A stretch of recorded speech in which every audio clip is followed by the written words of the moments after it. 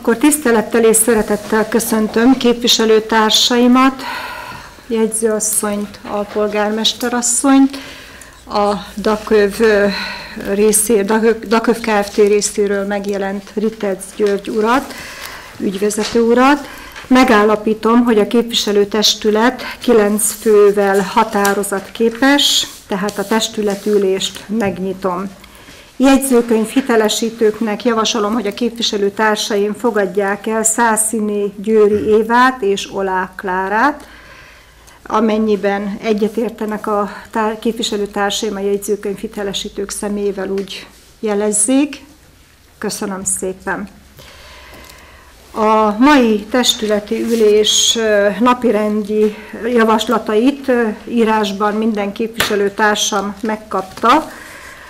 Ez szerint a mai testületi ülésen az alábbi napi tárgyalnánk. Első pont a DAKÖV Kft. által a 2016-2030 éve, 30. évekre 2030-as évekre készített gördülő fejlesztési tervek megtárgyalása. Második napi rendi pont döntés a családsegítő és gyermekjóléti feladatok jövőbeni ellátásának módjáról. Harmadik napi rendi pont. Döntés egy darab kertészeti traktor vásárlásáról. Negyedik napi rendi pont. Döntés az önkormányzat tulajdonát képező Ford Transit kisteherautó javítatásáról, és a kiküldött meghívóhoz képest szeretném még, hogyha a képviselőtestület felvenni a mai ülésre napirendként, hogy van három olyan utunk, amik teljesen a sár miatt járhatatlanok, tehát ezeknek az utaknak az úzott kővel való javítatására vonatkozóan beszerzett árajánlatokról való döntés. Szeretném, hogyha a testület döntést hozna, hogy mikor tartsunk közmeghallgatást, ezt is megbeszélnénk, és természetesen az utolsó napi, rendbe, napi rendi pontban pedig a szokásokhoz híven tájékoztatást adnék a két ülés között történt intézkedésekről. Megkérdezem a képviselőtársaimat, hogy egyéb napirendi javaslata van-e valakinek. Úgy látom, hogy nincs. Akkor megkérem a képviselőtársaimat, hogy akik az így kiegészített és ismertetett napirendi javaslatot elfogadják, azok készfelemeléssel szavazzanak. Köszönöm. Megállapítom, hogy a képviselőtestület a mai testületi ülés napirendi javaslatát egyhangulag elfogadta. Akkor áttérünk az első napirend tárgyalására, tehát a DAKÖV Kft. által a 2016-tól 2030-ig terjedő évekre készített gördülő fejlesztési terveknek a megtárgyalása. Ezzel kapcsolatban annyit szeretnék elmondani, hogy ezt az anyagot minden képviselőtársam megkapta, ezt csak úgy mutatom, hogy ez papír alapon egy ilyen mennyiségű anyag,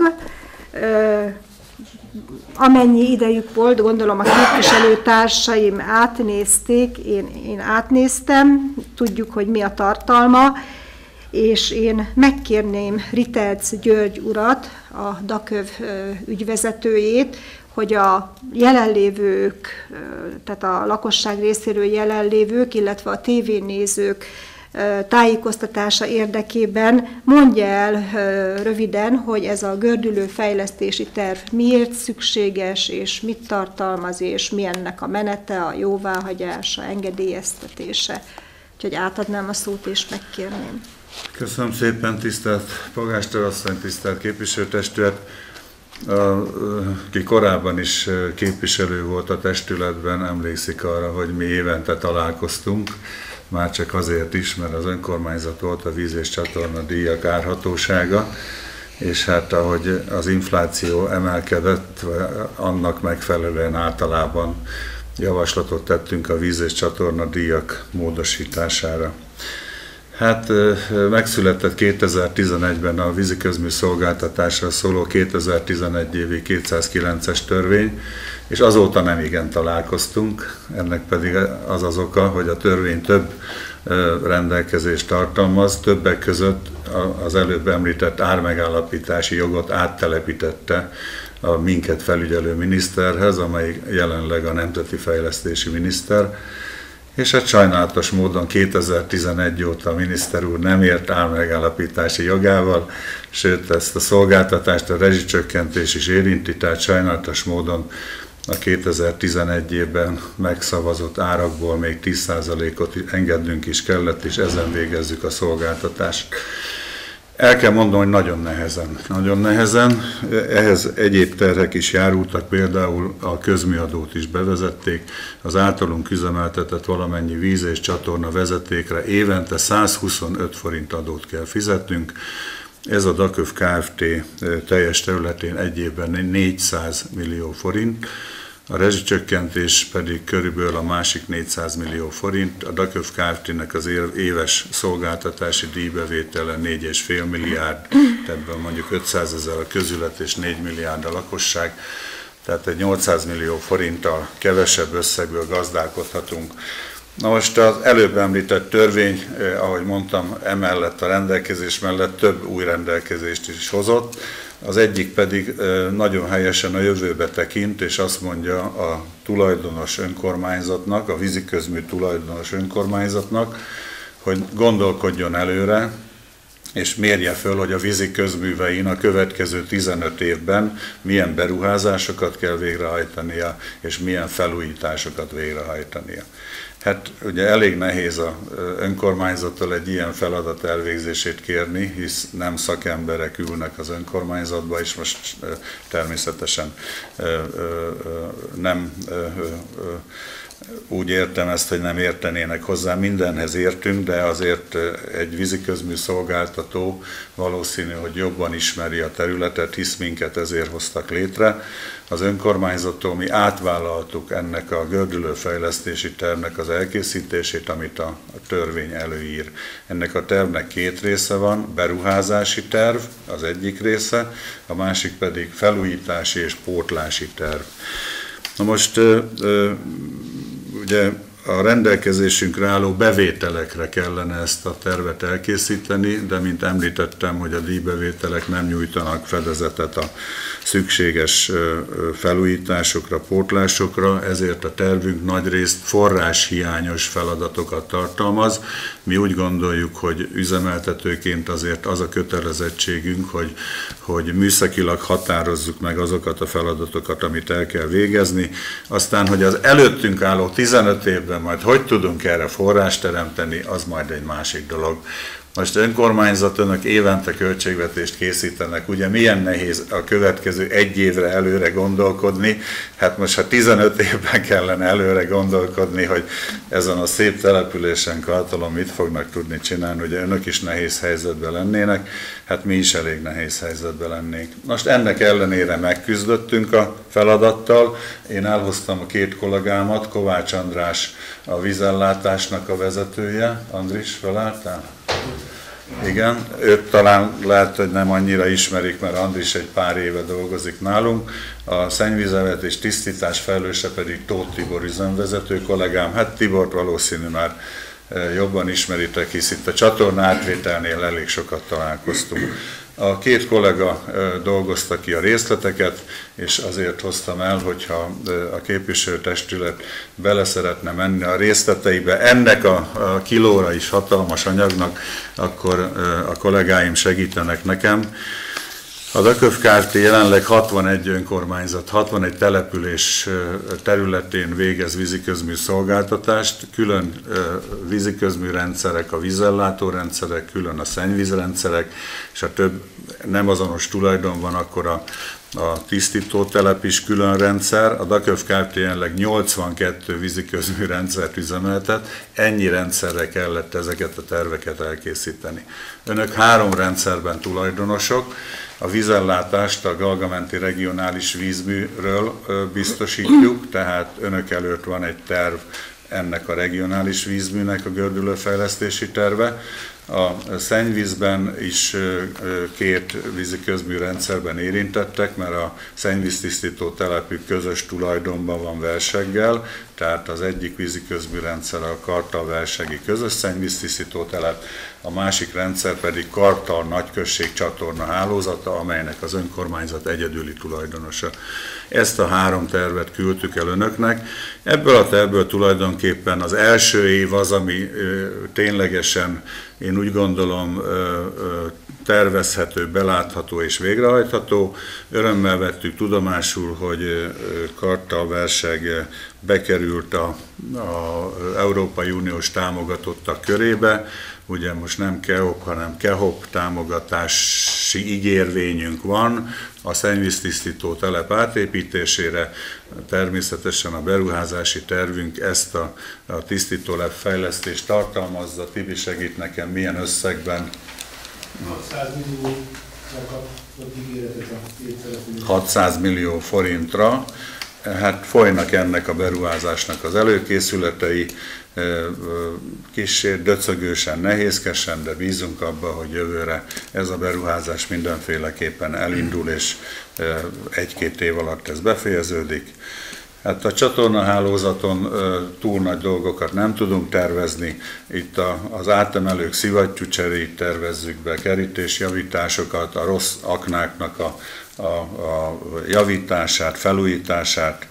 A víznél pedig ugye regionális vízműről van szó, nekünk gondoskodnunk kell a, a vízbázis víztermelő kapacitásának a szinten tartásáról. Turán furtunk már egy új kutat, még amikor Galgamenti víziközmű Kft. voltunk, ugye akkor mondhatom még jobban voltak forrásaink, és ennek a kútnak tervezzük a bekötését mind a hálózatban, mind a kútgépészeti részét. Tulajdonképpen ezek a legfontosabb részek ebbe a gördülő fejlesztési tervbe. Én kérem a tulajdonos önkormányzat képviselőtestetet, hogy ezt a három tervet szíveskedjen jóváhagyni. A, a önök jóváhagyásával benyújtjuk a, a felügyeleti hatóságunkhoz, ez jelenleg a Magyar Energetikai és Közműszabályozási Hivatal. Ők ott kivessézik ezeket a terveket, és vagy jóvá hagyják, vagy hiánypótlásra visszaadják, tehát a vége az lesz, hogy majd a hivatal jóvá hagyja ezt a tervet, és a végrehajtást majd ellenőrzik. Most elképzelhető, hogy a, a, ahogy kezdtem, hogy nem találkozunk évente vízdíj megállapít, víz és csatornadíj megállapításba, de mivel ez kötelező feladat, és azért gördülő fejlesztési terv, mert mindig egy évvel meg kell hosszabbítani, tehát jövőre már 2017-31 lesz, tehát valószínű, hogy ennek a tervnek a ismételt és ismételt átdolgozása kapcsán, ha lesznek szívesek meghívni, akkor köszönettel vesszük és eljövünk, és mindig a, a adott évet meg tudjuk tárgyalni, illetve el tudjuk mondani, hogy mi az az egy év, ami 15 év múlvára előtekint, egy év múlva előre tekintünk. Köszönöm, hogy meghallgattak, meghallgattatok, és kérem, hogy hagyjátok jóvá lehetőség szerint. Köszönöm szépen Ritec György úrnak a tájékoztatását. Való igaz, amikor polgármester lettem, már akkor szembesültem egy ügyirattal, ügyirat révén, hogy ezt a gördülő fejlesztési tervet már el kellett volna korábban is készíteni, és úgymond felszólítottak akkor, és hiánypótlást ígértem, hogy igen, ezt el fogjuk készíteni, és nagyon szépen köszönöm a Daköv Kft-nek, hogy ezt nagyon alacsony díjért elkészítette. Én most átadnám a szót a képviselőtársaimnak, hogy van-e a tervekkel kapcsolatban kérdésük, amit esetleg Ritec úr vagy a munkatársai meg tudnak válaszolni. Vagy te, igen, Kalcsó képviselő? Nem akarom húzni az időt, de egy félperces kérdést föltennék a Gyurinak kartolembert jobban foglalkoztatja a régi rendszerbe épült azok a etelni csövek. Hogy a hideg meleg hatására hol itt durran el, hol ott durran el, aki a ivóvízi rendszert úgymond felügyeli, az nagyon jól tudja, miről beszélek, hogy van erre remény a következő 16 évben, hogy nyilvánvaló, hogy lesz egy kis apró pénzetek, akkor majd javítgatjátok egy modernebb rendszerre, mert az már lassan 30 éves az a rendszer, amiről beszélünk, hanem több. Köszönöm. Elnézést, mi a Tibivel nagyon régóta kapcsolatban vagyunk, talán már 20 éve, ugye Tibi? Tehát ezért 30 is van már, igen. Hogyha Bormagas azt megengedve, hogy gyűjtsük a kérdéseket. Nem, közvetlenül. Tibi jól ismeri, hogy ez azbeszcement csőhálózat még kartalon. Ugye a fejlődéssel először műanyagcsőre tértünk át, KMPVC csövekre, most már KPE hegesztett csöveket használunk. Hát a, a előttünk járó fejlettebb államok már Andris segíts, duktil, öntött vas, főleg öntött vas csövekből építik újra a vízvetéket, mert ugye ezek sokkal tartósabbak. Tibi, át kellene építeni, ez biztos, hogy csak Európai Uniós pályázatból mehet. Jelenleg sajnos a vízveték rekonstrukcióra nincs pályázati lehetőség. Tehát bízunk benne, hogy majd talán a, a ciklusban. Na most ezt a 20-20-ig terjedő időszaknak a pályázati lehetőségeit körülbelül ismerjük, sajnos ebben nincs ilyen. Nem, úgy néz ki, hogy Európa Unió ebben a, a, pályázati ciklusban nem támogatja ezt. Teljesen igazad van, rengeteg problémát ad az Eternit ha át lenne építve, hogyha kevesebb hiba lenne, olcsóbb is lehetne, tehát úgy lesz olcsóbb a szolgáltatás, hogyha majd ez a rekonstrukció megvalósul. Saját pénzből nincs esély, hogy ezt cseréljük és a díj megállapításról el tudod képzelni, hogy mondjuk háromszorosára megemelik a vízdíjakat elkövet jövő évtől? Hát ugye elég nehezen. Jön a választás, inkább lefele fog menni az ára, nem fölfele. Kiírták, hogy itt a új lehetőség megint a rezsicsökkentésre. Tibi, ne menjünk Jó. ebbe bele. Ez a jövő. További kérdés a képviselők részéről, Urbán Attila. Egy gondolat csak, ha jól értelmeztem, akkor a jövő évben sikerül megvalósítani az új szennyvíztisztító telepet. Erre a 600 milliós európai támogatást, amit megpályáztak önök, vagy a önkormányzat, bocsánat, és abból meg tudják valósítani. Erre válaszolok én, jó? Vagy? Nem mi vagyunk ennek a beruházói, igen, most igen, összeszedtük igen, a beruházásokat, De ez nem azt jelenti, önök hogy a DAC készíteni. Nem, nem. nem. És akkor, akkor a polgármesterasszonynak már is átadom a választ. Tehát ez nem azt jelenti, hogy ezt mind a DAKÖV Kft. fogja végrehajtani. A beruházási terv minden tartalma ami a településen egyáltalán felmerül. Tehát ha itt lett volna egy magánbefektető, és ő már tervet készítetett volna, hogy épít egy lakóparkot, nekünk azt is már figyelembe kellett volna venni, és a forrást akkor annak megfelelőjük. Tehát mi ezt a forrást Európai Uniós támogatásként tüntettük fel és polgármester asszony levonja Tehát tisztába kell lenni, hogy a DAKÖV Kft.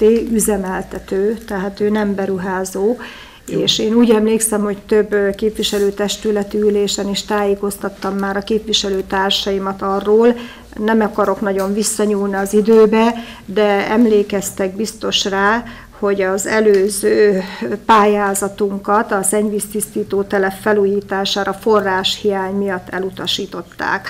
Aztán újra kellett pályázni, és tavaly decemberben a kormány létrehozta az NFP, Nemzeti Fejlesztési Programiroda, a Non-Profit Kft-t, és tulajdonképpen a teljes projektet, tehát a szennyvíztisztító telep felújítását ez a Non-Profit Kft. végzi.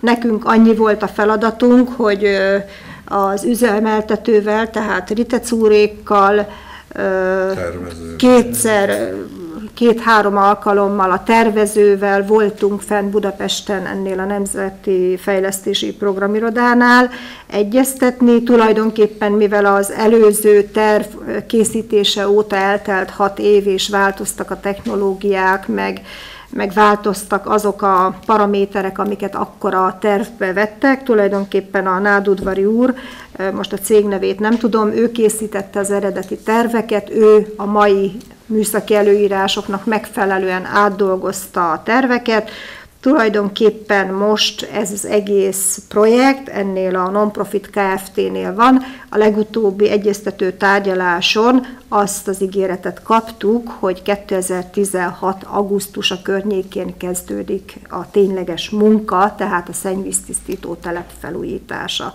Hogy aztán pontosan mikor készül el, ez természetesen a dakkövöt annyiban érinti, hogy ők folyamatosan bírságot fizetnek azért, mert a szennyvíztisztító telep nem jól működik, úgy ugye a dakövnek is érdeke lenne, hogy ez minél előbb felújításra kerüljön. Hát bízzunk benne, hogyha augusztusban elkezdődnek a munkák, akkor jövő év végére ez felújításra is kerül. Köszönöm szépen. Én is köszönöm. Van-e további kérdés? Amennyiben nincs, akkor tulajdonképpen, amint az anyagot olvastátok, és ahogy mutattam is, itt három tervről van szó, ezért három testületi határozatot szeretném, hogyha a képviselőtestület megszavazna, és akkor én felolvasom, mert készültem, mert hogy ennek számozása van, és hogy hivatalos legyen.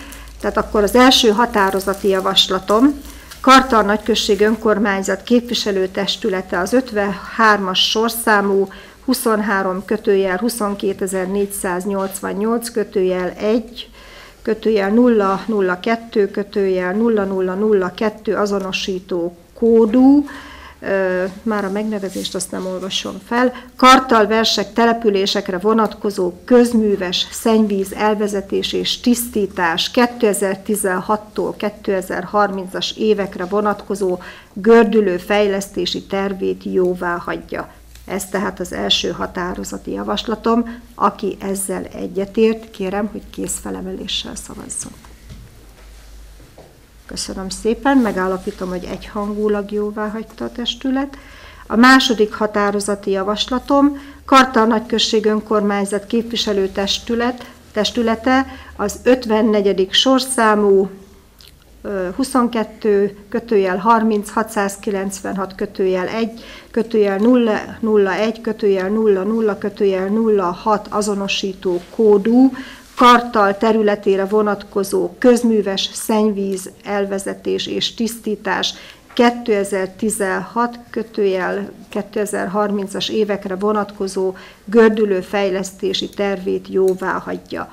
Aki ezzel a határozati javaslatommal egyetért, azt kérem, hogy készfelemeléssel szavazzon. Köszönöm. A számokért elnézést kérünk. Az Energiahivatal, amikor kiadta a DAKÖV Kft. működési engedélyét, akkor az összes vízi közműrendszernek adott egy kódot és egy rövid megnevezést. Polgármester asszony ezeket a meghatározatban szereplő számokat olvassa, mert ezzel kell azonosítani a terveket. Tehát nekem a határozatban ugye ezeket a számokat bele kell, hogy vetessem, csak egy kicsit fárasztó, amikor felolvasom. Elnézést kérek érte.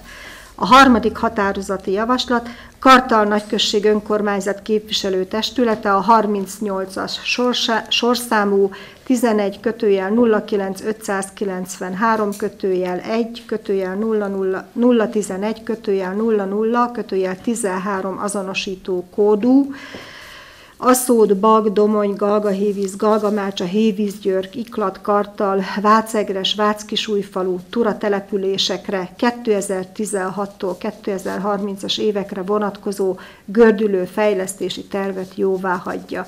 Aki ezzel a határozati javaslatommal egyetért, kérem, hogy készfelemeléssel szavazzon. Köszönöm szépen. Akkor megállapítom, hogy a három gördülő fejlesztési tervet Kartal képviselőtestülete egyhangulag jóvá hagyta, és akkor felkérjük ugye a DAKÖV Kft-t, hogy az engedélyezési eljárást folytassa le. És, Képviseljük az önkormányzatot. És igen, képviseljenek az ebben az engedélyeztetési eljárásban minket, mert tulajdonképpen ezt a feladatot tőlünk átvállalta a DAKÖV Kft. Megköszönöm a munkájukat. Megköszönöm, hogy eljöttek és segítettek azzal, hogy a képviselőtársaim is és valamennyien tisztállásuk azt, hogy miért volt erre szükség, és mi ennek a célja és az értelme. Amennyiben van idejük, nagyon szívesen látjuk a továbbiakban is. Köszönjük szépen, és köszönöm a képviselőtestet minden tagjának a megértést, további jó munkát. Köszönjük szépen, viszontlátásra!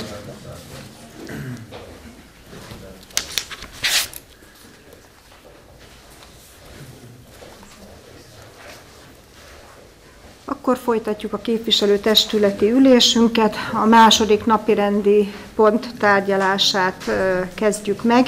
Döntés a családsegítő és gyermekjóléti feladatok jövőbeni ellátásának módjáról. Képviselőtársaim megkapták ezt az anyagot. ami az aszódi polgármester úrtól érkezett, tulajdonképpen arról szól, hogy az országgyűlés elfogadott egy törvényt, aminek értelmében 2016. január 1-től az integráltan létrejövő szolgáltatás, tehát a gyermekvédelmi tárgyú törvényeket módosította, és ezeket a szolgáltatásokat települési szinten elérhető kötelező szolgáltatássá nyilvánította, és az új feladat megosztás azt szerint alakul, hogy a települési önkormányzatok feladat körében marad a lakóhely szintű minimum szolgáltatások, általános segítő feladatok biztosítása, a hatósági feladatokhoz kapcsolódó gyermekek védelmére irányuló tevékenységek, valamint a speciális szolgáltatások biztosítása a járásszékhely települési önkormányzatokhoz kerülnek. Gondolom ez így érthető, most annak is, aki ezt még nem látta írásban, tehát egy törvénymódosítás miatt bizonyos feladatok a gyermekvédelemből itt maradnak, más feladatok átkerülnek a járásszékhelyhez az írásos anyagnak van egy határozati javaslati része is, ami azt javasolja, hogy a test, testület döntsön úgy, hogy a törvény alapján, hogy a családsegítő és a gyermekjóléti feladatellátást a jövőre nézve is az aszódi és társult önkormányzatok szociális és gyermekjóléti társulása keretében kívánja biztosítani. Annyit szeretnék még ehhez az írásos anyaghoz szóban hozzátenni, hogy ez a társulás eddig is nagyon jól működött. Azt is tudjuk, hogy egy feladatnak az ellátása, ha a társulás formájában látjuk el, a finanszírozás az állam részéről mindig kedvezőbb. A pénzügyi irodával egyeztettem, tehát az, hogy most a szociális és a gyermekjóléti feladatokat társulás útján látjuk el, ez jelenleg, jelenleg nekünk évente másfél millió forintos terhet jelent. Ha önállóan akarnánk ezt a feladatot ellátni, akkor ugye fel kellene venni egy vezetőt, dolgozókat, akik ezt a feladatot ellátják, tehát ez egy hatalmas anyagi teher lenne és mivel ez egy nagyon jól működő szolgálat volt eddig, én mindig csak a lakosok részéről pozitív visszajelzést tapasztaltam, hogyha felkeresik ezt a családsegítő és tehát szociális gyermekjóléti munkatársakat, mindig segítséget kapnak. Úgyhogy én azt javasolom a képviselőtestületnek, hogy ezzel a határozati javaslattal értsen egyet, de természetesen mielőtt döntése vagy szavazása tenném fel a kérdést, úgy megkérdezem először is a úgy tudom, hogy a Művelődési és Szociális Bizottsági Ülésen beszéltetek, illetve a bizottság beszélt erről a témakörről, tehát akkor megkérem dr. Gyöngy Mónikát, a bizottság elnökét, hogy mondja el, hogy mi a bizottság javaslat ezzel kapcsolatban. Köszönöm szépen. Igen, tárgyalt a Művelődési és Szociális Bizottság. Igazából arra az álláspontra jutottunk mi is a bizottsági ülésen, hogy ez egy jól működő rendszer volt, amivel kapcsolatban kifogás nem jutott a tudomásunkra. Hogyha elfogadjuk ezt a határozati javaslatot, amit a polgármester asszony az előbb ismertetett, akkor gyakorlatilag azt fogadjuk el, hogy a rendszer működésében semmiféle változás nem áll be a jövőre vonatkozóan és az alapján a bizottság javasolja a képviselőtestületnek, hogy az ismertetett határozati javaslatot fogadja el. Köszönöm szépen. Képviselőtársaimat még megkérdezem, van-e valakinek még ezzel kapcsolatban véleménye, vagy esetleg kérdése? Nincs. Akkor aki egyetért azzal, hogy a családsegítő és gyermekjóléti feladat ellátást a jövőre nézve is az aszódi és társult önkormányzatok szociális és gyermekjóléti társulása keretében látja el karttal, úgy kérem, hogy készfelemeléssel szavazzon. Köszönöm szépen, megállapítom, hogy egyhangulag a testület elfogadta ezt a határozatot. A harmadik napi rendi pontunk döntés egy darab kertészeti traktor vásárlásáról. Ehhez egy kis szóbeli kiegészítést tennék. Nagy örömünkre elmondhatom, hogy az önkormányzat anyagi helyzete szeptember 20-a körül erősen stabilizálódott.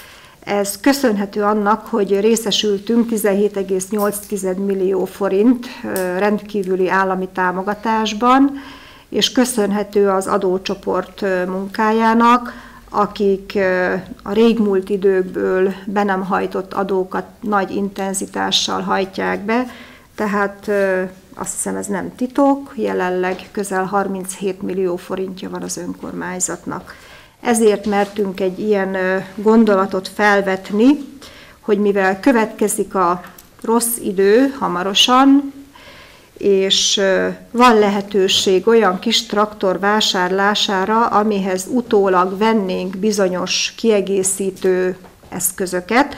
Most abba gondolkodtunk, hogy vennénk egy kis traktort, ehhez aztán vennénk egy hótolót, egy sózót, és majd jövőre esetleg fűkaszát, meg éppen amire ilyen gödör árok tisztítót, tehát ezért vettük fel napjelentként, és ezt a pénzügyi bizottság ülésen megtárgyalták a pénzügyi bizottság tagjai, és én felkérem akkor Langa Gábort, a bizottság elnökét, hogy tájékoztasson arról, hogy mi a bizottság álláspontja ezzel a napirenddel kapcsolatban. Köszönöm szépen.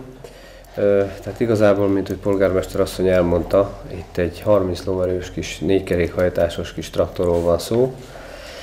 Ez egy nagyon jó kis szerkezet, nagyon-nagyon sok kiegészítője van, ami, tehát nagyon sokat tehát lehet bővíteni, és nagyon nagy hasznát venni az önkormányzat. Jelen pillanatban egy darab ajánlatunk van, és abba egyeztünk meg, hogy most az önkormányzat el volt eddig ennélkül, a traktor nélkül, bár hozzáteszem, hogy nagyon sok problémát, vagy nagyon sok gondot megoldanánk, vagy nagyon hasznos lenne ez az önkormányzatnak, de azt szoktuk mondani, hogy akkor lehet spórolni, amikor van pénzünk, amikor már nincs, akkor már nem lehet. Ezért úgy döntöttünk, hogy további ajánlatokat próbálunk begyűjteni, és meg esetleg megpróbáljuk a kertészeti pályázatot, hogy hát ha sikerülne egy kis állami támogatást kapnunk. Köszönöm, Köszönöm szépen. szépen.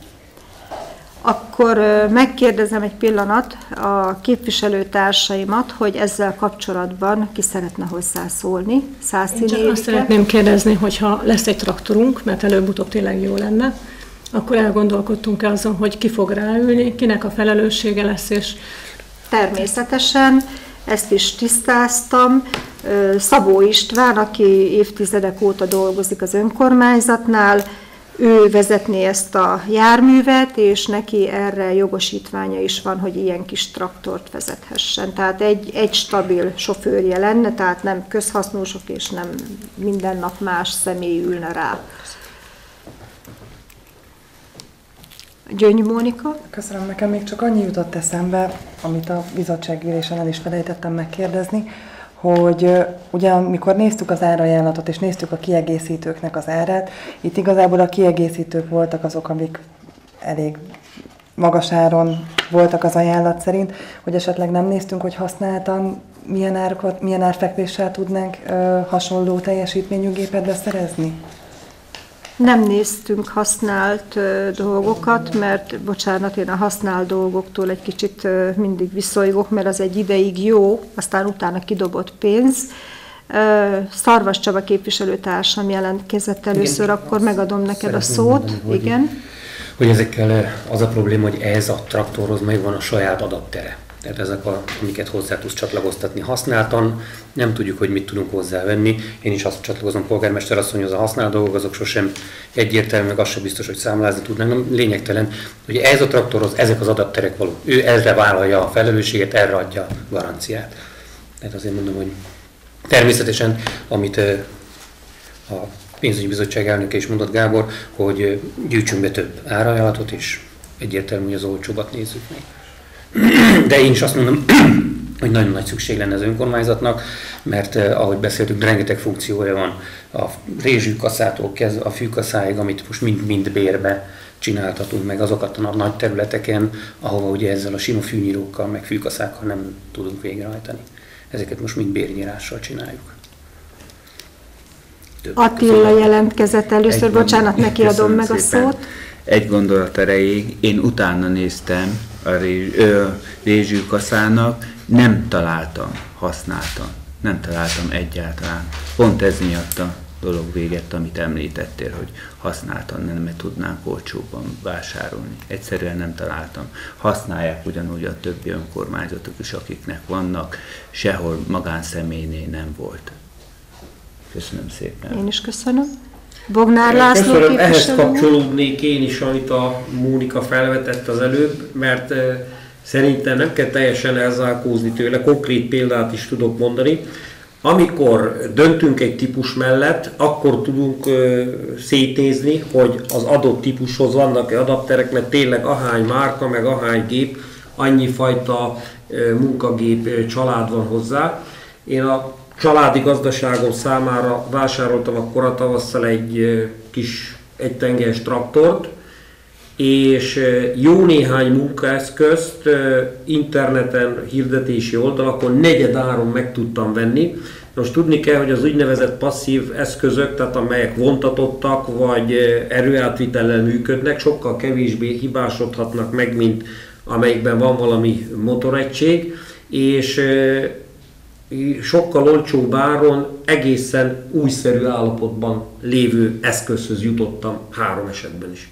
Úgyhogy nem zárkóznék el egyértelműen az előre, amit mondott a képviselőasszony, amikor döntünk egy típus mellett, akkor tudunk konkrétan lépéseket tenni, hogy az adott típushoz vannak-e. Mert lehet, hogy más önkormányzat vagy közület megvásárolja, nem használja sokat, áruba bocsátja, és tényleg úgy van, mint az autónál, hogy kihozza az ember a kereskedőtől, akkor már egyből leesik az ára. Karcsó képviselő úr? Itt még hozzátennék, hogy én úgy gondolom, hogy mindenfajta erőgépnél tök mindegy, mert hátsó három pontos felfüggesztés, hogyha működik, elő van neki egy TLT kihajtása, legyen rajta fülke, időjárástól védje nyáron, télen a figurát, aki benne van, mindenfajta kiegészítő eszköz gyakorlatilag lehet venni, mindegy, hogy melyik cégtől, de én használatban nem mennék bele, mert az egy nagyon nagy bóvli. Az nagyon tudni kéne, mert meg kéne mozgatni. Azt én itt nem látok itt egyetlen olyan ember, csak aki elmenne egy használt gépet megnézni, hogy ez mire való. Mert például egy, egy, egy fűnyírót, aki már látott, nincs itt az Oli? Nincs. Egy háromfogású fűnyíróval, egy ilyen traktorban lehet dolgozni, és nagyon szépen lehet a futballpályát is például nyírni. Meg akár a tereket is nyírogatni egy hótoló, hogy hidraulikusan mozgatható jobbra-balra. Az itt eszközök nem olyan drágák, de meg, attól függetlenül meg lehet nézni, de én használatban nem nagyon mennék bele, mert az, az nagyon nagy rizikó van benne. Ott egy alkatrészet cserélni kell rajta, egy az nincs, aki kicserélje, kicserélteted valakivel, akkor meg elviszi az újnak az árát. Itt egy úgymond egy becsületes, szorgalmas ember a Pisti, meg én szerintem az a Szabó, ha ő kezére van adva, nem adja oda senkinek, ő ezt tökéletesen meg tudja oldani. És ezek már 10-20 évig eljárogathat vele. Gondolom én. Köszönöm. Van-e még valakinek hozzá szólása? Én nagyon örülök, mert azt gondolom, hogy összes hozzászólás egy építő jellegű, és azért vagyunk így együtt, hogy együtt gondolkodjunk és együtt döntsünk.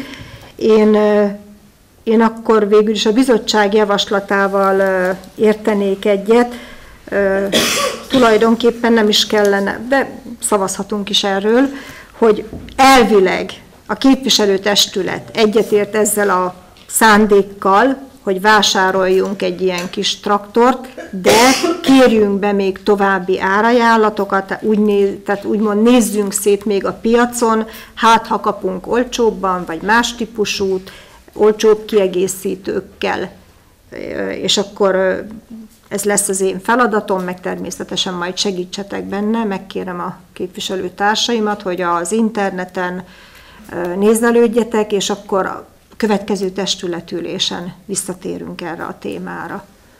Akkor aki ezzel a javaslatommal egyetért, kérem, hogy kézfelemeléssel szavazzon.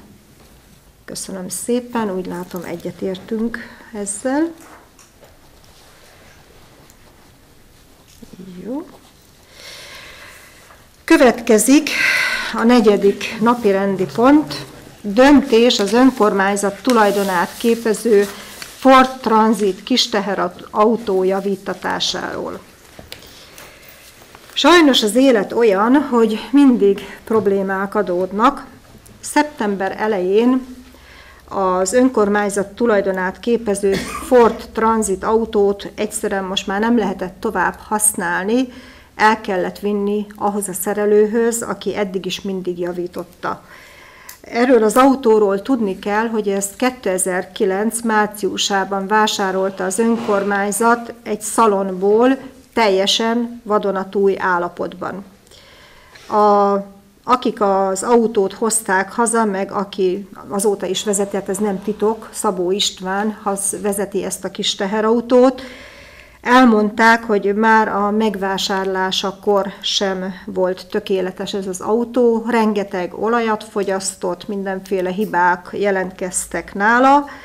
Sajnos a adásvételi szerződés szerinti két éves garancia igényel nem élt az akkori önkormányzat, Viszont ez az autó folyamatosan egyre több és egyre több olajat fogyasztott, úgyhogy most már nem lehetett vele tulajdonképpen már a fővárosba se felmenni, mert annyira füstölt és olyan mértékben fogyasztotta az olajat. Így szeptember elején elkerült a szerelőhöz. Én megkértem a szerelőt, hogy mielőtt bármit javítana rajta, árajánlatot adjon, hogy mibe kerül ez a javítás. Hát megdöbbentem, amikor bejött a szerelő, és majdnem egy millió forint az, az a árajánlat, amit ő adott, hogy ennyiért lehet az autót megjavítani. Próbáltunk itt képviselőtársaim segítettek, több autó szerelővel is beszéltünk, senki nem vállalja már így fel a javítatását, aztán hozzá tartozik még a valós helyzethez, hogy közben az is kiderült, hogy a, az autónak a forgalmi engedélyébe lévő motorszám és alvásszám az nem az, ami az autóból kiszerelt motron található. Tehát tulajdonképpen most itt állunk, és nem látok más megoldást, mint hogy ismeretlen tettes ellen büntető feljelentést kell tenni, mert valahol, valaki, valamikor ebbe az autóba egy másik motrot épített bele, nem azt, ami az okmányok szerint benne kellene, hogy legyen. Ennyit mondok el, ez egyikünknek se hiányzott és ezt a pénzügyi bizottság tárgyalta ezt a témát, úgyhogy megkérem Langa Gábor pénzügyi bizottsági elnököt, hogy ismertesse a bizottság javaslatát. Köszönöm szépen. Hát igen, ez egy elég kényes téma mindenki részéről, és e, igazából oda jutott a, a pénzügyi, arra jutott a pénzügyi bizottság, hogy valahova lépni kell, tehát a büntető feljelentés mindenképpen meg kell tenni azért, hogy védjük saját magunkat, vagy a mostani képviselő testületet, meg a polgármesterasszonyt. Viszont az autóra szükség lenne, és ezért abba, tehát a, abba egyeztünk, vagy talán az volt a, a javaslat, az egyhangú javaslat, hogy nézzünk szét, hogy hát ha tudnánk vásárolni egy, egy garanciális, komple- tehát egy olyan komplett bontott motort, amit most behelyeznek az autóba, és természetesen valamennyi garanciát vállalnak rá, és akkor tudjuk használni ezt a járművet, mert az önkormányzatnak szüksége van rá. Viszont ha ezt nem tesszük meg, akkor, hogyha elindul egy feljelentés, az igazából Magyarországon most évekbe telik, mire ennek vége van. És, mint ahogy mondtam, a járműre szükség van, ezért úgy látjuk, hogy ha benne van a motor, az autót tudjuk használni, mi le vagyunk védve, vagy le vagyunk fedve, hogy nem vagyunk bűnösek, és a bizonyíték pedig megmarad a mostani motor. Köszönöm szépen. Köszönöm. Képviselőtársaimat kérdezem, hogy van-e valakinek ezzel kapcsolatban. Kovács, vagy bocsánat, Kalcsó képviselő úr? Annyi kellene még én szerintem, hogy a sorrendet tartsuk be följelentést legyen meg először, és utána a felújított vagy az új motor beletétele, mert azért ez, ez, ez nevetséges, 50 ezer kilométert, ha olajcserét sem nem csinálnak, akkor is egy gyári olajjal el kéne menni 50 ezer kilométert egy autónak. Igen, ezt nem is mondtam, hogy tulajdonképpen még 60 ezer kilométer sincs benne. 50 valahány ezer kilométert ment ez az autó. Ugye tudjuk, hogy ez főképpen a településen belül ugye a közmunkásokat, meg az ahhoz szükséges anyagokat, szerszámokat szállította, tehát nagyon nagy távolságok ezzel az autóval nem lettek megtéve. Azért annyit hozzátennék, hogyha lehet, hogy a következő időszakban, ha ilyen helyközi mozgásra veszünk autót, én úgy gondolom, el kéne gondolkozni, hogy inkább talán benzines autót kellene venni, mert a rövid távon egy dízelautó nincs kihasználva. Egy autószerelő el tudna mondani, hogy annak legalább egy 100-200 kilométert kéne folyamatosan menni, hogy úgymond normálisan kidolgozza magából a szennyet is, meg ami van a gázolajban. Egy ilyen kis mozgás, egy kisebb fogyasztású benzines autó tökéletesen megfelel. Köszönöm, ha oda jutunk, hogy autót vásárolunk, akkor úgyis együtt fogjuk eldönteni, hogy miért és mennyiért. Van-e még egyéb hozzászólás, észrevétel, kérdés? Jó, hát akkor határozati javaslatként feltenném azt, hogy amit itt elmondtam, hogy ugye nem egyeznek a motoron lévő motor szám és alváz szám a Transit Ford autó okmányaiban lévő számokkal, és ezért a testület megbíz engem, hogy ismeretlen tettes ellen a rendőrségen és a közlekedés felügyeletnél tegyek feljelentést, úgy kérem, hogy készfelemeléssel szavazzon. Köszönöm. Akkor ez egyhangú. Most egy kicsit gondba vagyok a második javaslattal, amit a bizottság elnöke mondott, hogy komplett bontott motort vegyünk. Klári, szeretnél ebbe segíteni? Igen, igen. Köszönöm szépen. Azért is jelentkeztem, hogy nem felújítani kellene ezt a motort, mert ugye most a, a forgalomban levő motorszám nem egyezik a, a gépjárműben levő motornak a számával. Tehát ahhoz, hogy legálisá tegyük, tehát elindul egy, egyrészt a feljelentést, másrészt legálisá kell tennünk a forgalmit, illetve ugye menni kell az autónak, tehát forgalomból nem szabadna, hogy kivonjuk, hiszen szükségre van rá az önkormányzatnak és ezért is kellene az, hogy egy bontott motrot, tehát arról határozunk, hogy bontott motrot, tehát nem felújítjuk, hanem bontott motrot veszünk. Ezzel ugye kapunk garanciát, le lesz papírozva az egész történet, és az okmányirodába is a forgalmiba be lesz írva az új motorszám, és akkor tud működni dolog. Tehát úgy kellene valahogy a határozatot, hogy akkor nem felújítás, hanem új, vagyis a bontott motorral. Semmiféleképp nem szabad. Gyöngyük Mónika? Én meg én csak annyit szeretnék ehhez hozzátenni, hogy ismervén a nyomozóhatóságoknak a gyakorlatát, én azt gondolom, hogy elképzelhető az ügyben, hogy első nekifutásra nem biztos, hogy akarnak foglalkozni a feljelentésünkkel. És mivel egy akár egy nyomozást elutasító határozat ellen 8 napunk van arra, hogy panasszal éljünk, és az alatt a 8 nap alatt nem biztos, hogy testületi ülésünk is lesz, és második körben azért nagyobb eredménnyel szoktak foglalkozni ezen a feljelentéssel. Én, hogyha lehet, akkor még egy olyan határozatot is, határozattal is szeretném kiegészíteni, hogy amennyiben a nyomozóhatóság elutasítaná első fokon a feljelentésünket, akkor az ellen hatalmazzuk fel a polgármester asszonyt, hogy panasszal élhessen. Jogos. Hát ez természetes, hogy a jogi utat, ha elkezdem, akkor azt végig kell járni, ezt a többi ügynél is ugyanígy csinálom, tehát ez sajnos naponta felmerül, de köszönöm. Erről nem gondolom, hogy külön kéne szavazni, mert hogyha egy, egy jogi eljárást elindítok, akkor azt végig kell csinálni. A bontott motorral vagyok még mindig gondba, és kérek segítséget, mert ezt, ezt ne egyedül én rendeljem meg. Ez nem is lehet.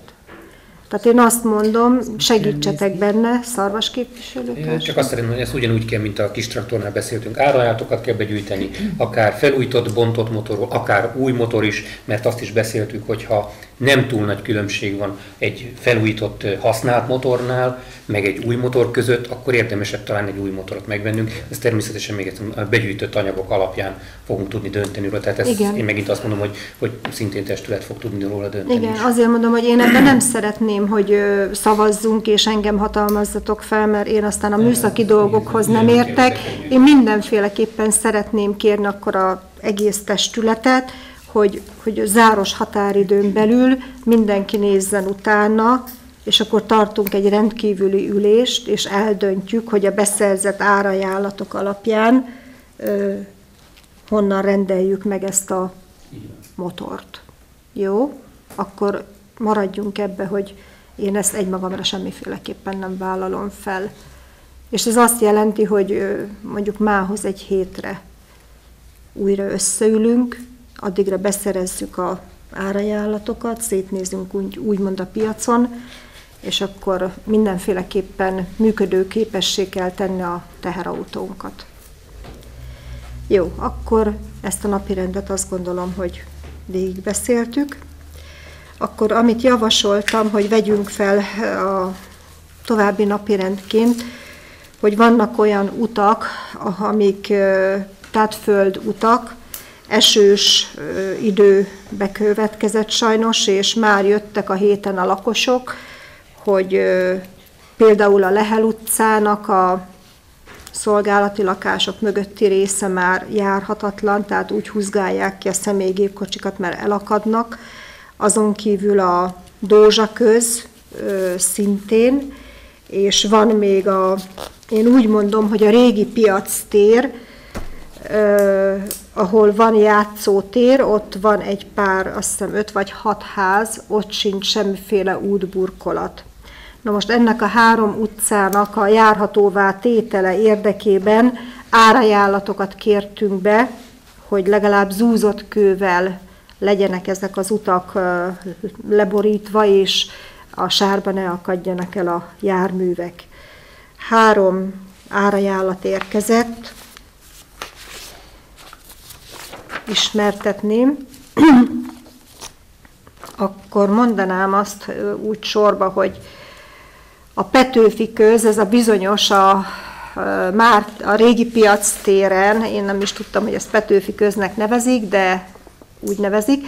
Tehát a piac térnél, ahol van az a négy-öt ház, és semmiféle útburkolat nincs, erre érkezett a Bauma Spettrans Kft-től egy árajánlat, ami azt jelenti, hogy 70 méter hosszú és 4 méter szélességben készíteni el ezt az utat.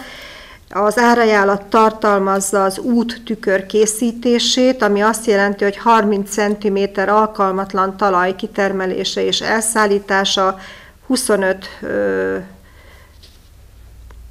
ez most köbméter akar lenni, nem? 25 köbméter, 0 per 56-os zúzott kő ágyazat készítése és tömörítése, és 5 köbméter 0 per 22-es zúzott kő felső réteg terítés és tömörítés, és ennek a munkálatnak az összes költsége 1 millió 330 ezer forint plusz áfa. Ez az egyik árajánlat. A Petőfi közre van egy másik árajánlat, ugyanezt a munkálatot 1 millió 450 ezer forint plusz áfáért vállalná, a harmadik ajánlat pedig ugyanezt a munkát 1 millió 610 ezer forint plusz áfáért. Szerintem menjünk így külön utcánként, és akkor nem bonyolódunk bele tulajdonképpen a pénzügyi bizottság tárgyalta, és ugye mindig azt szoktuk mondani, hogy azért a lehető legalacsonyabb árat válasszuk. Felkérem Langa Gábor urat, a pénzügyi bizottság elnökét, hogy a Petőfi közre vonatkozóan akkor melyik árajánlat elfogadását javasolják.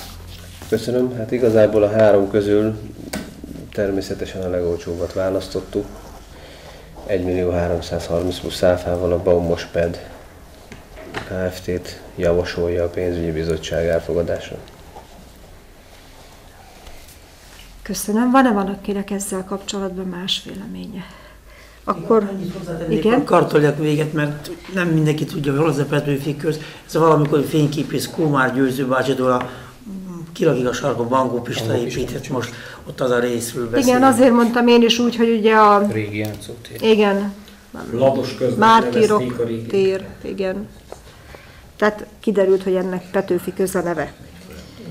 Jó, akkor szavazzunk utcánként. Tehát akkor megkérem a képviselő társaimat, hogy aki egyetért azzal, hogy a Petőfi köznek zúzott kővel való borítására beadott árajánlatok közül a Baumaspet Trans Kft. árajánlatát fogadjuk el, és felhatalmaznak engem, hogy kössek velük vállalkozási szerződést. Kérem, hogy kész felemeléssel szavazzanak.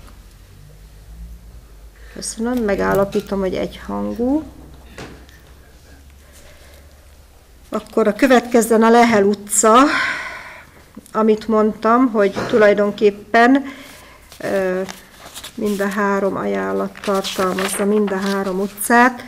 A Lehel utcára, most már mondom a cég nevét, tehát ez a Baumas Petrans Kft., azt mondja, hogy 160 méter hosszú, 4 méter széles utat készítene, szintén az van, hogy 30 cm alkalmatlan talaj kitermelése, 25 köbméter 0 per 56-os zúzott kő ágyazat készítése, tömörítése, 5 köbméter 0 per 22-es zúzott kő felső réteg terítés és tömörítés, ennek az összköltsége lenne 2 millió 400 ezer forint plusz áfa, ugyanerre a munkára Kelemen József vállalkozó 2 millió 236 ezer forint plusz áfa árajánlatot adott, a harmadik ajánl, árajánlatot adó pedig 2 millió 555 ezer forint, 550 ezer forint plusz áfát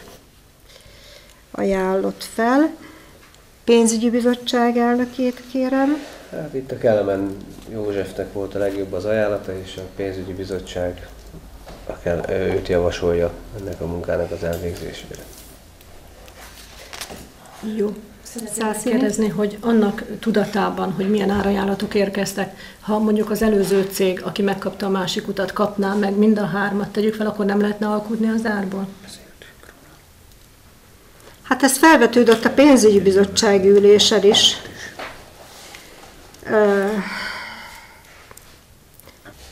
Klári, segíts ki. Először a Csabi. Szarvas képviselő. Szeretném hozzáfűzni csak, hogy ugye tudjuk, hogy az időjárás olyan, amilyen, és hát így is ki vagyunk már csúszva ezekből a munkálatoknak az idejéből, tehát ez minél előbb el kell döntenünk. Lehet kérünk, akkor én azt mondom, hogy szintén hatalmazzuk fel a polgármester azt hogy aztán próbál, próbáljon alkudozni, ha tud, akkor jó, ha nem, akkor nem fogadjuk el ezt az árakat, mert, mert az időjárás miatt nem fogunk tudni a munkálatokkal haladni.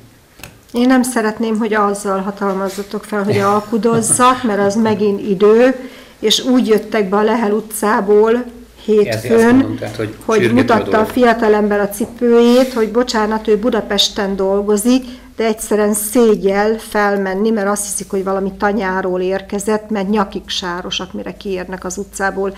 Most, ha engem hatalmaz fel a testület, hogy alkudozzak, akkor ez megint akkor megint vissza kéne jönnöm, hogy na most akkor ez ennyi. Én azt gondolom, hogy akkor aki az alacsonyabb összegű árajánlatot tette, azt, azt bízzuk meg a munkával, és akkor kezdje el minél előbb. És akkor párhuzamosan tudnak. Persze. Nem, mind a kettő kartali végül is, és akkor mind a kettő kap munkát. Pont ezt akartam mondani, a polgármester asszony befejezte pont zárzóként, hogy itt nem csak az időről van szó, tehát azért nyújtsunk már lehetőséget több vállalkozónak, tehát és ez, ez rendkívül fontos.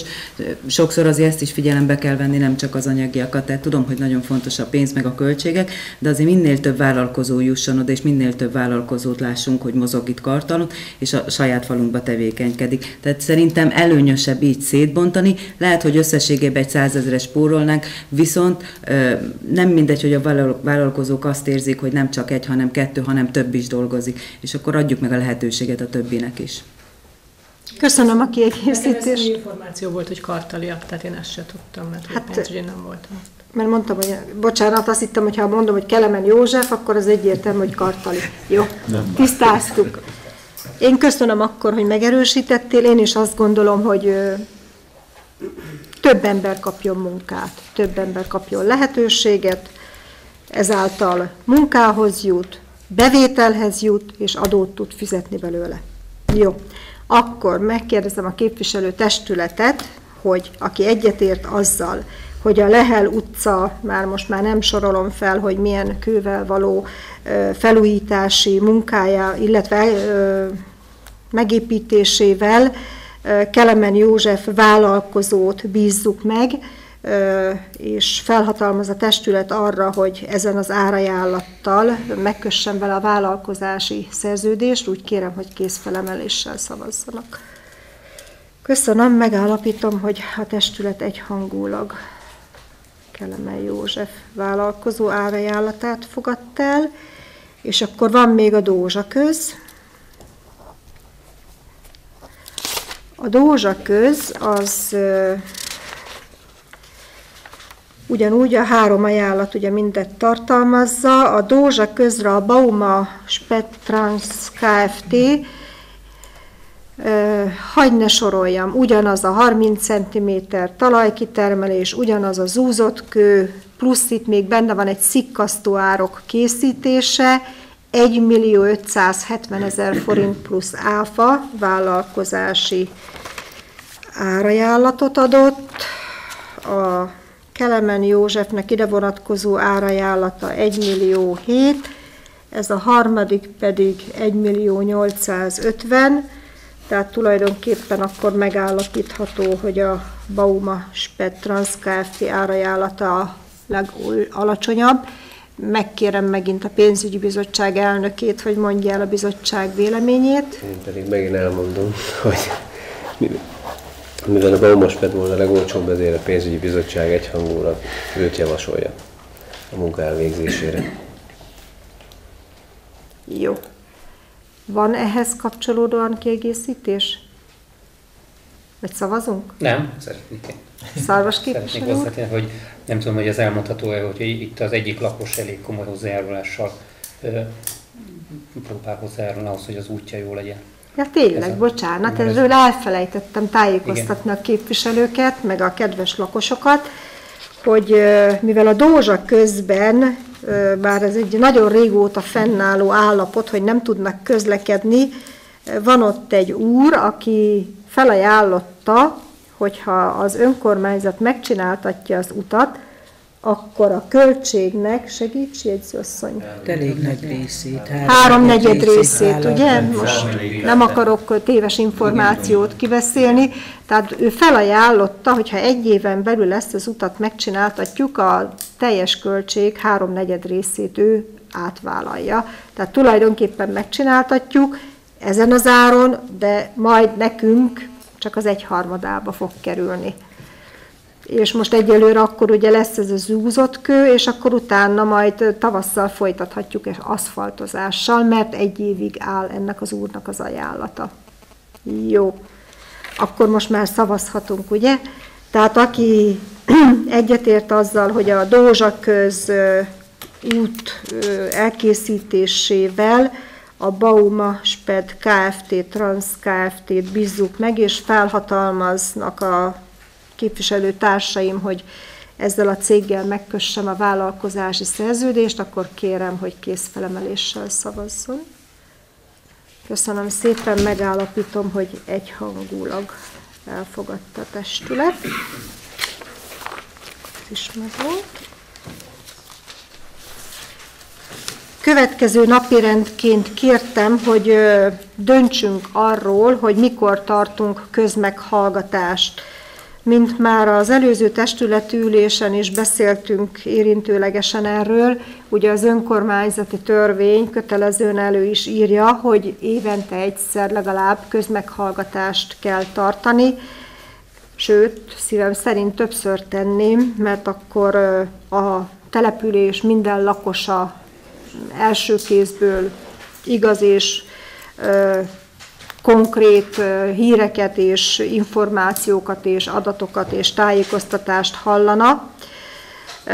Én a naptáramat napozgatva, most nem hoztam be a naptárat, én a november 26-át javasolnám, ez egy csütörtöki nap, este 6 órakor itt lenne a községházának ebben a tárgyaló termében, Azért nem szeretném tovább halogatni, mert december az már ugye kezdődik az advent, a karácsonyra való készülés, és majd kérem jegyzőkönyvezni, hogy Kalcsó képviselő úr elment. Jó, akkor most már nyolc fővel vagyunk jelen.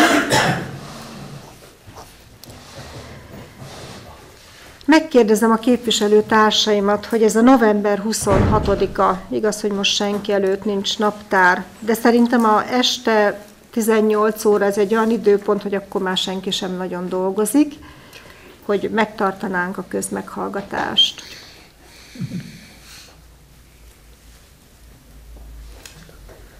Bognár Esetleg képviselő? nem lehetne, köszönöm, Igen? hétvégére tolni, akkor talán többen el tudnának jönni. Másnap még munkanap, péntek, és lehet, hogy ez többeket esetleg visszatart a részét. Rajtam nem múlik. Csak egy javaslat volt. Uh-huh. Korábban jöttek olyan észrevételek, hogy hát hétköznap, másnap munka. Igen, tegyünk, tegyük akkor péntekre? Támogatom. Jó. Péntekre, Jó, akkor... 27. Jó. Más vélemény? Nincs? Jó. Aki egyetért azzal, hogy 2015. november 27-én 18 órára a képviselőtestület közmeghallgatást hív össze, kérem, hogy kézfelemeléssel szavazzon. Köszönöm szépen, egyhangulag a testület elfogadta ezt az időpontot. És akkor, a, ahogy ígértem, és a bevált gyakorlat szerint szeretném tájékoztatni a képviselőtestületet, hogy az előző testületi ülés óta mi történt és milyen intézkedéseket tettem. Legutóbb, szeptember 28-án tartottunk testületi ülést, akkor nem volt itt a televízió, úgyhogy egy kicsit most részletesebben elmondom, hogy pontosan akkor mi is volt. Képviselőtársaim emlékeznek, hogy itt volt az EMASZ képviseletében Kovács Csaba úr, műszaki fő munkatárs. Tudnélik ezt a lakosság tájékoztatása érdekében elmondom, hogy már tavasszal, áprilisban megkezdtük a tárgyalásokat, illetve az egyeztetéseket az EMAS-szal, a teljes település közvilágításának a korszerűsítése érdekében. Tavasszal még olyan megoldásban gondolkodtunk, és az EMAS is azt kalkulálta ki, és akkor azt a szerződés tervezetet hagytuk jóvá, hogy ilyen LED maszkos megoldás lett volna, tehát a jelenlegi lámpatestekbe építették volna bele ezt a LED maszkot. Viszont akkor eldöntött a testület, hogy igen, akkor legyen ez a megoldás. Kovács Csaba úrral én akkor egyeztettem, hogy mikor kötjük meg a szerződést, meg hát ugye fel kellene mérni a településen pontosan hány közvilágítási lámpa van, meg hol kell még bővíteni. Teltek a hónapok, ő azt ígérte, hogy szeptemberben tud ezzel konkrétan foglalkozni, és valóban szeptember harmadikán leültünk, úgy emlékszem, harmadikán egyeztetni, és a lényeg az, hogy az idő nekünk dolgozott, mert most már ez a LED lámpás megoldás annyira elterjedt, hogy a lámpák ára is olcsóbb lett, tehát most már az EMAS nem azt ajánlotta vagy javasolta, hogy LED-maszkos megoldással újítsuk fel a közvilágítást, hanem teljes lámpacserékre kerül sor. Ez azt jelenti, hogy végig a főúton is, és a mellékúton is ledvilágítás, illetve kompakt csöves megvilágítás lesz, még tanulnom kell ezeket a műszaki dolgokat. A legutóbbi testületi ülésen, ezt azért mondtam el, hogy a lakosság tájékozódjon, hogy miről van szó, a legutóbbi testületi ülésen ugye emlékeztek, itt volt Kovács Csaba úr, itt Gyöngy Mónikának és több képviselő társamnak voltak módosító javaslatai a szerződés tervezettel kapcsolatban. Szeretnélek titeket tájékoztatni, hogy Kovács Csaba úr átdolgozta a szerződéseket, tehát azt, amit kért a képviselőtestület, hogy beleírta az öt év garanciát, amit alpolgármester asszony kiharcolt, a futamidőt 9 évre csökkentette, Ez ugye azt jelenti, hogy eredetileg úgy volt, hogy 10 év lesz a futamidő, mert erről a beruházásról, illetve közvilágítás felújításról tudni kell, hogy ez, ez az önkormányzatnak nem kerül pénzbe.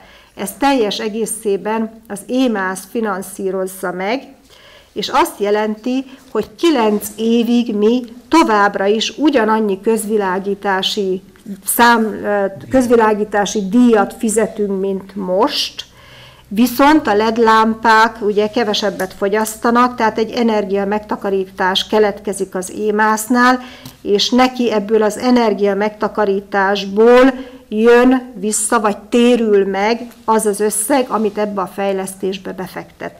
És azért nem mindegy, hogy 9 vagy 10 év a futamidő, mert ugye ez azt jelenti, hogy így, hogy alpolgármester asszony volt annyira erőszakos, hogy még 9 évre leszállította, ez azt jelenti, hogy ugye már 9 év múlva a településnek is alacsonyabb lesz a közvilágítási számlája.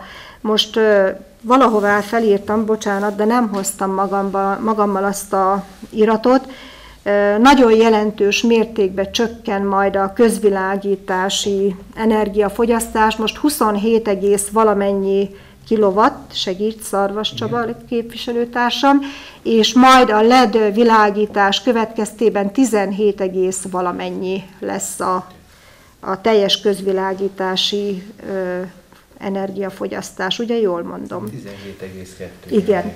Tehát igen. ha megérjük azt, hogy 9 év múlva nem változnak a díjak, vagy az állam ugyanúgy finanszírozza az önkormányzatoknak a közvilágításhoz való hozzájárulást, akkor a, ez azt jelenti, hogy a fejlesztés következtében egy az, hogy sokkal másabb lesz a település megvilágítása. Ugye a jelenlegi lámpák, ezt tapasztaljuk, hogy inkább úgy ott alattuk adnak valamennyi fényt. Ez a LED világítás olyan lesz, hogy a főúton a lámpa oszlopokra még egy 60 cm hosszú ilyen vasrudat, vagy valami ilyesmit szerel fel az émász, és arra helyezi el a LED lámpát, és ugye ez a LED lámpa úgy szórja a fényt, amilyen fogba azt beállítják. Tehát az egész településnek a közvilágítása ezáltal sokkal jobb lesz, mert nem csak a járdát, hanem az úttest egy részét is meg fogja világítani ez a újfajta megoldás. A szerződés szerint tehát a szerződést a módosításokkal, ahogy mondtam, kiegészítve aláírtam, visszaküldtem az émásznak, hogy ők is írják alá. December 1 befejezési határidőt vállaltak, tehát ez azt jelenti, hogy szerintem most vagyunk október közepe, október vége felé valószínű, hogy elkezdődnek ezek a munkálatok, és december 1-én már bízunk benne, hogy az egész falu közvilágítása megújul. Az előző testületi ülésen döntött a képviselő testület arról, hogy érkezett egy vételi ajánlat a kartali 795 per 56-os helyrajzi számú, összesen 2240 négyzetméter nagyságú építési terület megvételére, de a testület azt a vételi mm, szándékot, illetve a felajánlott vételárat nagyon alacsonynak tartotta. A képviselőtestület úgy döntött, hogy az az ingatlan minimum 5 millió forintot megér, plusz áfát, igen, itt van az áfa, most már nagyon figyelünk rá, és ugye a testület úgy döntött, hogy ezt a Régió Plus televízióban hirdessem 15 napig, tehát tájékoztatom a képviselőtársaimat, hogy a hirdetés elment, és október 19-én 16 órakor jár le az az idő, amíg erre érkezhet másoktól is vételi ajánlat. Hát sajnos fájdalmas dolgok is történtek az előző ülés óta. Október 3-án egyik díszpolgárunktól, Petróci Zoltánné Sárikától búcsúztunk el, az asszonykórus tagjától. Meghalt szegény, hosszú, fájdalmas betegség után, és köszönöm mindazoknak, akik részt vettek a temetésén. És az életnek a furcsasága, hogy ugyanezen a napon azért öröm is történt a faluba, megrendezésre került ez a Zöld út program, aminek a keretében rengetegen megmozdultak kerékpárral, gyalogosan, majd délután a Kukorica Fesztivállal folytatódott a, a program, ami nagyon színvonalas volt, ez mindenki által megnézhető a Youtube-on, én ott néztem meg, és itt szeretnék köszönetet mondani Deák Istvánné Margitkának, aki tulajdonképpen ennek a rendezvénynek a megszervezője volt. Tájékoztatom a képviselőtársaimat is, és természetesen így a lakosságot is, hogy a régi piac téren, amiről az előbb is beszéltünk, hogy ott bizonyos Petőfi köznek nevezik, Ugye nagyon régóta volt ott egy játszótér, ami igencsak lepusztult az elmúlt évek vagy évtizedek során. Jegyzőasszony előkereste a játszótérnek az eredeti fotóit, tehát annak alapján látjuk, hogy ez a játszótér eredetileg hogy nézett ki, és most már azon dolgozunk, hogy az eredeti állapotába visszaállítjuk, tehát ez azt jelenti, hogy nem kell most, tehát nem új játszóteret építünk, nem kell engedélyezés, nem kell mindenféle, bocsánat, szabványnak megfelelni, már egész jól haladunk, még a fa munkálatok szükségesek, és egy, akkor elmondhatjuk, és egy kicsit dicsekedhetek is vele, ha szabad, hogy megvalósult egy ígéretünk, hogy egy játszótér azért rendelkezésre áll, és én bízom abba, hogy ha az önkormányzat anyagi helyzete így halad, ahogy ebbe az évbe sikerült rendbe tenni, akkor akár pályázat nélkül, önerőből is meg tudom ígérni, hogy a település két végén, mert ugye én ezt ígértem is, hogy nem csak a, a település központját kell szépíteni és fejleszteni, tehát a, a szót felőli részen és a versek felőli részen is alkalmas helyet fogunk keresni arra, hogy játszótér, illetve park legyen kialakítva, és ezt megígérem, hogy 2016-ban meg fog valósulni. Nem nagy dolog, de ezek mind kiadás, és, és mégis valamit azért szépített, szépítettünk a település arculatán, valószínű, hogy észrevették a képviselőtársaim is, vagy esetleg a lakosok is, hogy a közmunkásokkal lefestettük a sportklubnak a kerítését és a lábazatot, kitakarítottuk azt a rengeteg gazt, amivel évek óta senki nem törődött.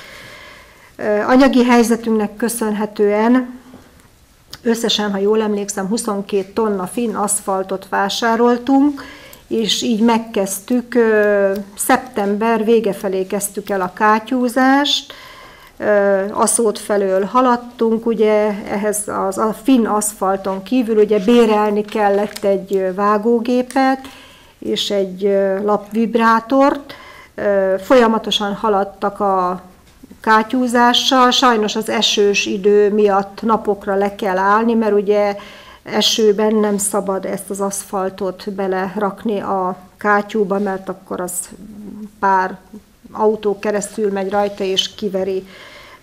Reméljük, hogy tartós lesz ez a kátyúzás.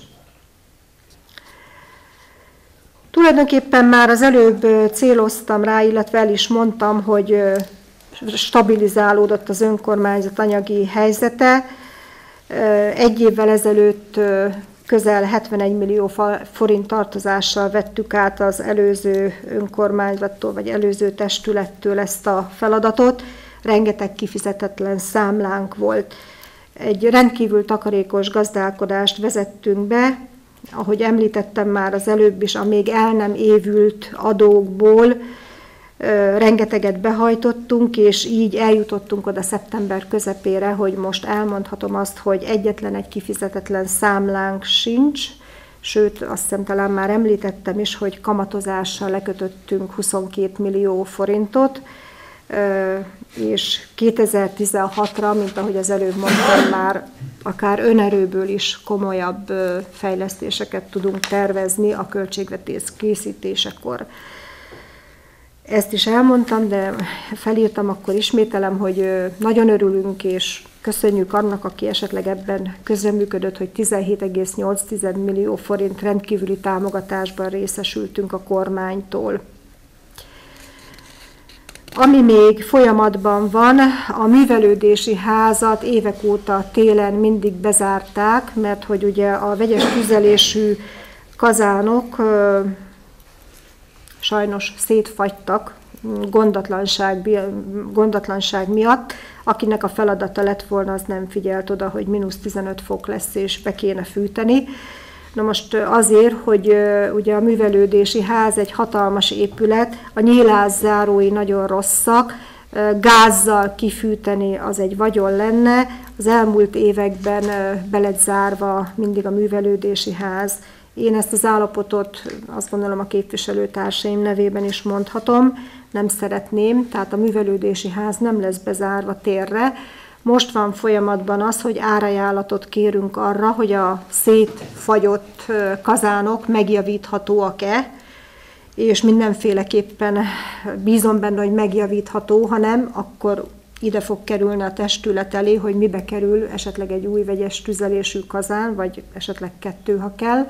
Tehát mindenféleképpen azt szeretném, hogy a művelődési házban télen is élet legyen és programok legyenek, és most is naponta vannak mindenféle foglalkozások. Az előző testületi ülésen felvetődtek ezek a panoráma, illetve beláthatósági tükrök, hogy szükség van rá. Erről is tájékoztatom a képviselőtársaimat és a lakosságot is, hogy megrendeltem három darab ilyen panoráma tükröt, Egyet tervezünk a Dózsa közbe felállít, felszerelni, egyet a Kisköznél, ott a templomnál, mert Kalcsó Tibor képviselőtársam jelezte az előző testületülésen, hogy Kisközből valaki kihajtott biciklivel és elütött egy gyalogos, tehát oda kell egy tükör. A harmadik tükröt pedig ide szeretnénk, ahol a, tulajdonképpen itt a a főút, a Petőfi út, a Hársfa út ö, csatlakozik, és mivel itt a pékségnél elég sok autó parkol, tehát itt nagyon nehéz a, a, az, hogy kijöjjön valaki mondjuk a Petőfi utcából, ezt viszont a közútkezelővel engedélyeztetnem kell, illetve egyeztetnem kell, hogy ezt a harmadik tükröt ö, hová szerelhetjük fel, és holnap már meg is érkezik a három tükör. Egyébként összesen fel is írtam magamnak, nem is kerül sokba. Bruttó 78.100 forint lesz, ez magába foglalja három darab tükröt és a hozzátartozó bilincseket. Szarvas Csaba képviselőtársam segített, tehát tulajdonképpen oszlopokat nem kellett rendelni, mert ha hová oszlop kell, azzal rendelkezünk, meg van, ahol például a kisköznél nem oszlopra kerül elhelyezésre, hanem a megfelelő helyre felszerelésre. És akkor még egy egész rövid dolog, aki ma bejött a polgármesteri hivatalba, és aki nem jött még eddig be, az, azt szívesen hívom és várom. Azt gondolom, hogy végre Mészáros Józsefné, Angyilka néni szalmafonatai, nem azt mondom, hogy a legmegfelelőbb helyre, de egyelőre egy biztonságos, szépen kialakított helyre kerültek. Nem akarok senkit megbántani, mondhatni azt, hogy szanaszét voltak ezek a gyönyörű alkotások. Angyél néni hosszú évtizedek óta gyönyörű szalma készítményeket, a Szent Koronától kezdve mindent, ez a, ismerik a munkájukat, vagy a munkáját, gyönyörű alkotásokat készített, és végül is itt egy közös ötlet volt, hogy itt a hivatalban van hozzá hely, és egy vállalkozó, akinek szintén volt adótartozása, megcsináltattuk vele ezt a vitrines szekrényeket, és akkor tulajdonképpen háromszorosan jól jártunk, elkészült a szekrény, a vállalkozó a díjból befizette az adóját, Angyél néni alkotásai pedig védett helyen vannak, nem pedig a régen bezárt óvodába, ahol pornak és netán még az egereknek is ki volt téve. Azt hiszem a két ülés között történt dolgokról, eseményekről mindent elmondtam. Megkérdezem, hogy van-e még valakinek kérdése. Gyöngy Mónika. Köszönöm nekem. Igazából nem kérdésem lenne, hanem tudomásomra jutott egy bejelentés, amivel szeretném, hogyha az önkormányzat foglalkozna.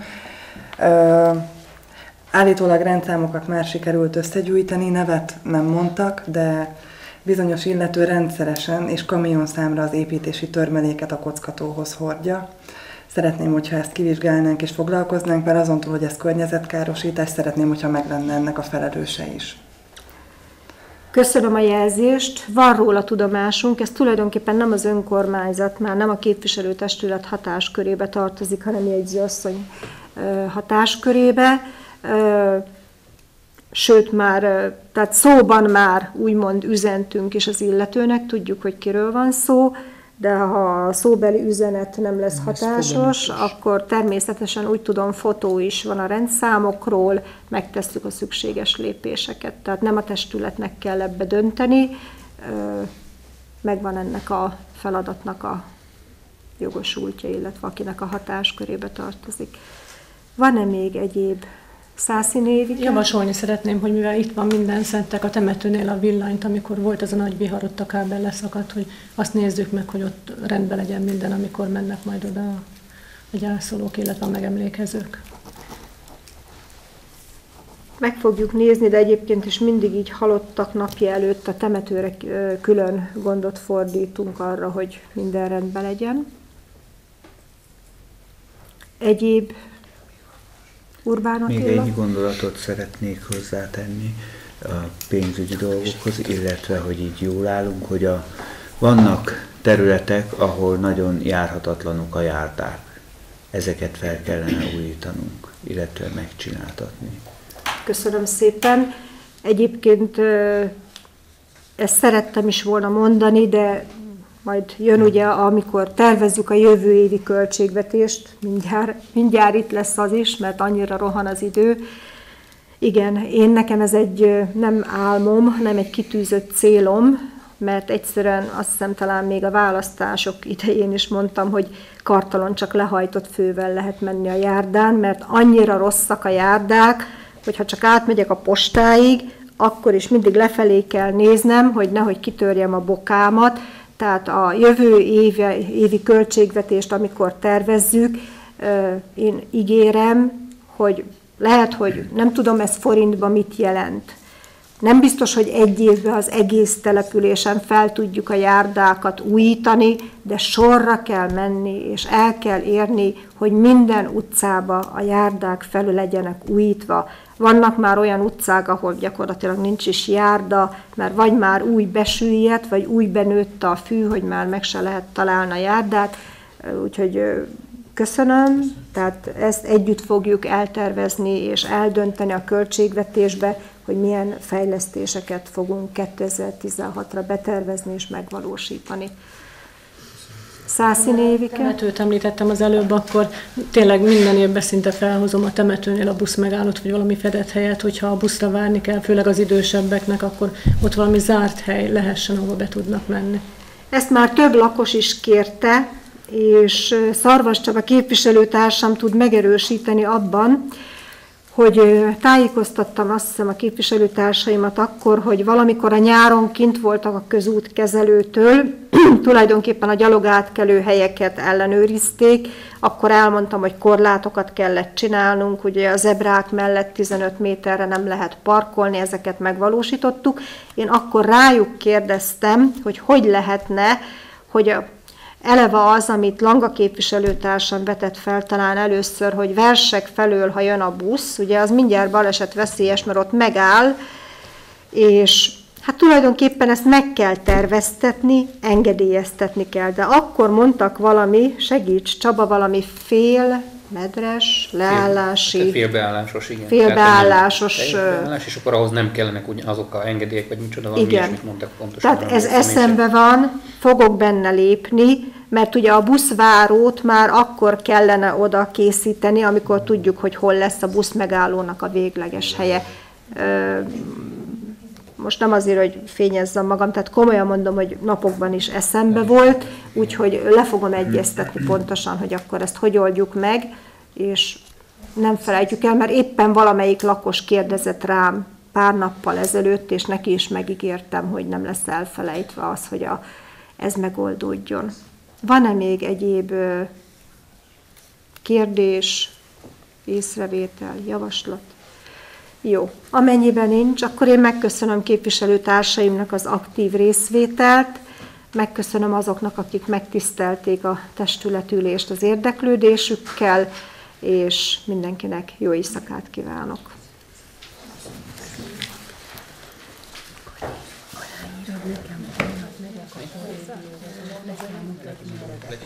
Ez alá lett írva általán már, de a tempó konzul, vagy a tempó annak a konzul,